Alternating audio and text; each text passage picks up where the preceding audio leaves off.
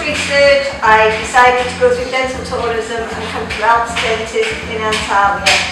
and since arrival and today I go home, I've been looked after, taxi, and the dentists themselves at Alps have been exceptional, understood my problems and give me a really good finished result, which I'm pleased with, much better than when I arrived.